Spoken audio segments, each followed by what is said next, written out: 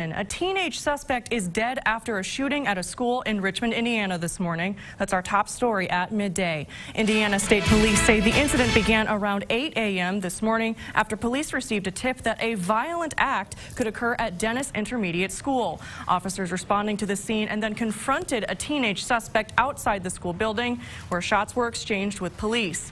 The suspect then took his own life. That's according to John Bowling of the Indiana State Police. Officers responded rapidly. They did confront a suspect outside the school. Shots were exchanged, and what I can tell you is that the teen suspect unfortunately decided to take his own life. Um, the fortunate part of this, if there is any, is that no students were injured and uh, no officers, and mainly because someone knew something and they said something. Um, I'm just thankful right now. I'm glad I got to see my kid and that they're all okay. I just would never imagine that we would have to go through something like this. I mean, we hear about you hear about yeah, it. you hear about it and you see it on the news, but you never think it's going to be your kid's school that's on the news.